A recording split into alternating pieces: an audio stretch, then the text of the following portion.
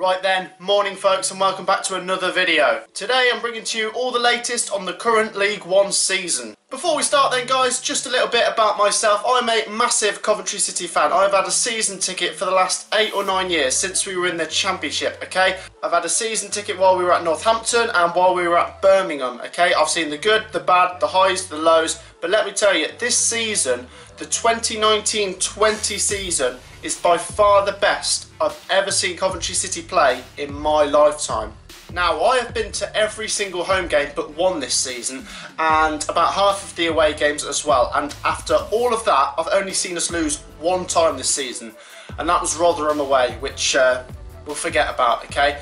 Every other game I've been to, we've either won or we've drawn. That is bonkers.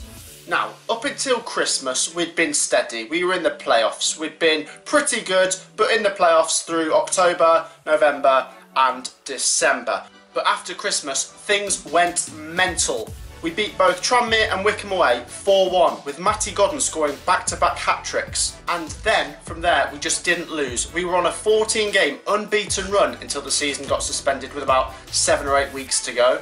We were top of the league, we were seven points clear of the playoffs, and we had a game in hand as well. Now look, no one expected this pandemic to happen, and when things first came to a halt, everyone was in the same boat that they just wanted the season to resume within a few weeks. But it was more than just a few weeks, it became a few months, and then it became apparent that clubs in League 1 and League 2 were hemorrhaging money, and now at a stage where if the season wasn't wrapped up soon, the clubs could go bust the EFL stepped in and actually stopped some of these clubs from going bust by supplying them money.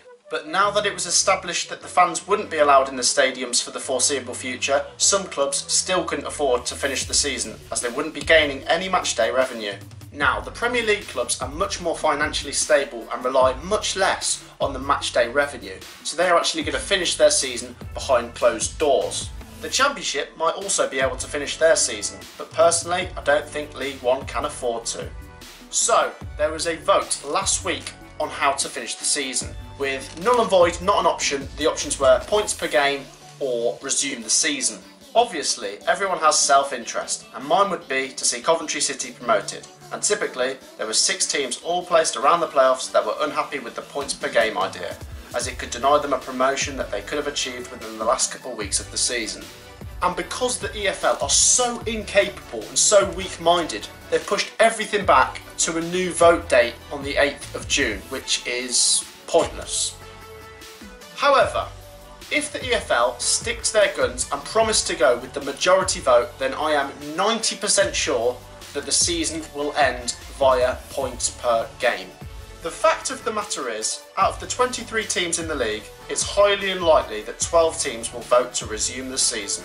The only teams that will wish to resume the season are the teams with an outside chance of the playoffs and the teams in the relegation zone, and that only equates to about 6, 7 or 8 teams. Other than that, the top two teams, the majority of the mid-table teams and the teams just above the relegation zone will all vote to finish the season now.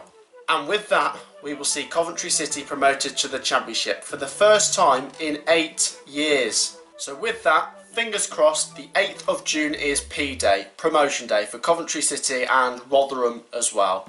And we will be celebrating in the streets, but socially distancing at the same time. Let me know down in the comments if you agree or disagree with anything that I've said and make sure to like and subscribe if you want more Coventry content to follow. I will see you in the next video. Peace out.